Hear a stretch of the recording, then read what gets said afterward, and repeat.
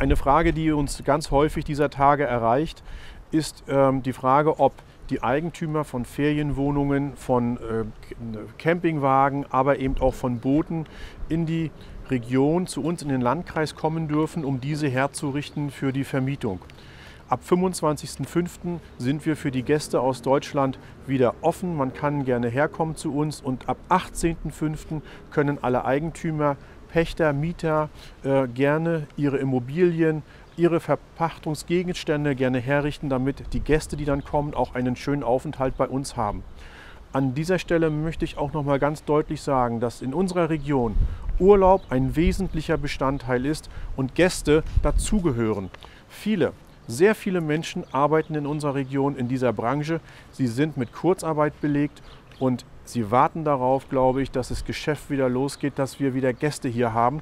Gleichzeitig sind wir intensiv mit unserem Gesundheitsamt daran, die hygienischen Rahmenbedingungen, die Festlegungen auch umzusetzen, damit dann auch möglichst keine Infektionen bei uns hier entstehen. Herzlichen Dank und bleiben Sie gesund. Sie sind herzlich willkommen.